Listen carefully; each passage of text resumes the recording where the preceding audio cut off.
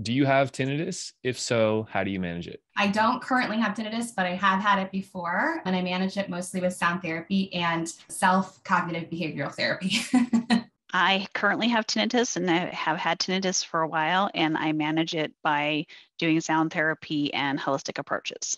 I've also had tinnitus in the past, and I use sound therapy and cognitive behavioral techniques to help me with my tinnitus. I have low level tinnitus and doesn't affect me too much. I manage it by using sound therapy.